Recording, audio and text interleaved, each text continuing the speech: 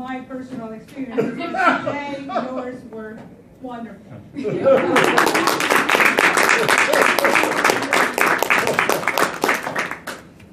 What expectation of you? I better be funny. In conclusion, online dating is not for me.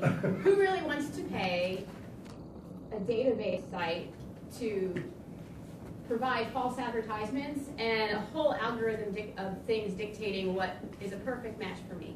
So I'm not that girl. I don't like online dating and I don't do it. So let me back the story up and tell you where my adventures someone like me leap into online dating? Because I swore I would never, ever, ever do that. so after I got divorced and settled into my single mom routine, one of my guy friends says, "You have to try this online dating stuff." And I was like, "No, that's not for me." He goes, "No, really. You need to get out there and you need to find yourself some better men." Because my last guy sort of was a jailbird and a drug addict. So he said, You need to find better men over here. I was like, All right, I'll try. So after a lot of discussion, he started to make sense to me, and it sounded logical, and he really sold it to me. So I said, all right. But I was still a little skeptical because he was a guy that had been online dating for six years, and he still hadn't found the one.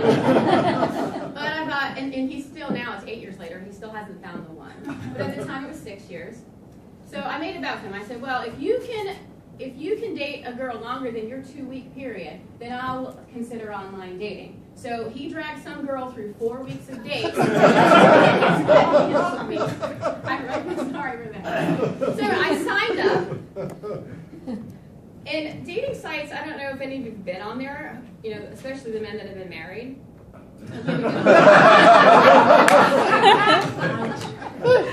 Yikes. So wait till I get to the statistics later. But dating sites are hotbed of Pictures, profiles, lots of lies, half truths. Sort of like you need somebody to go investigate. I felt like I needed to hire a private investigator just to go meet my dates before I went out there, or, or send my dad after because he worked for NSA. So in order to do that, I thought maybe pictures would be the best way because pictures worth a thousand words. I'm not exaggerating with the pictures I'm going to share with you or anything like that. So here's my first one. So you might get something in your profile, and you're like, okay. And you see, you're like, all right, well, let me see what the picture looks like. And you look at the picture, and you might get somebody that looks really good looking. Like, so then you start communicating, and eventually you, you end up setting up a date of some sort. So you you know you, you get ready to go to the date. You're going to go meet Mister I'm too hot for you, and it does say he's 55, but in that other picture, like he looks kind of good. So then you show up to the to the date, and he actually looks like this.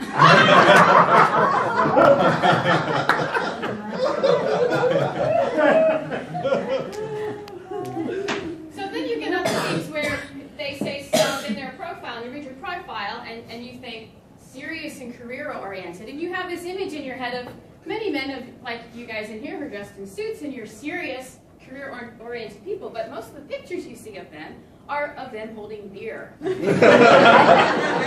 a single picture of them being serious or career oriented. It makes you question what their focus on is in life.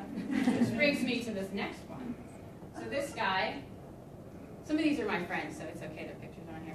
Well, not Leonardo DiCaprio. focused in life. Maybe their profile say, I'm really focused in life. Well, this guy's really focused in life. so you really do get stuff like this. People, what, they what they say in their profile, and what their pictures they post tell a thousand words. These are these are nice. This guy says that he's loyal and trustworthy. So you figure, oh, maybe there's a picture of him with his dog.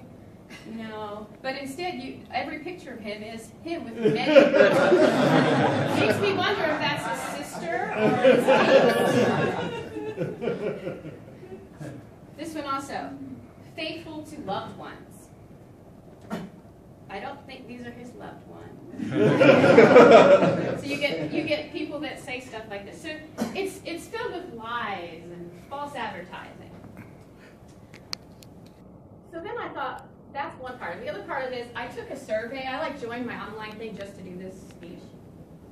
And I surveyed the last 100 people that looked at my profile. So 100 men looked at my profile.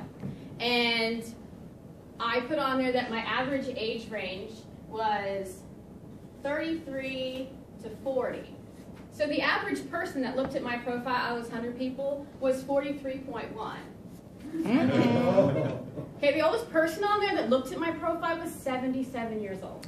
God bless the old man that, you know. I'm sorry, I'm sorry.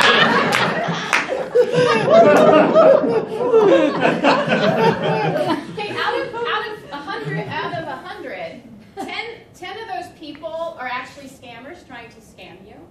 These are statistics. And out of that hundred, we've come down to 33% of these hundred men are actually married. That's why I said there's probably someone here that's married, might be online. okay, out of 50, and then out of the 151 of those people are in a relationship already, and they're just setting up for another relationship online. So they're cheating. Do you know how many people that leaves me that might not have anything wrong with them? Six. and on top of those six, 10% of sex offenders claim that they go online to find people. And 25% of rapists actually go online, and that's where they find their victims. So out of those six, I don't know who I would trust. So I don't like online dating because I can't tell. I mean, I am a martial artist, I can probably kick their butt, but I don't want to attempt any of that. So I decided I'm not going to go through with any online dating. My hello, this is my intro. Hello, my name is Robin. I'm a 36 year old single Korean Caucasian American, and I am a recovering online dater.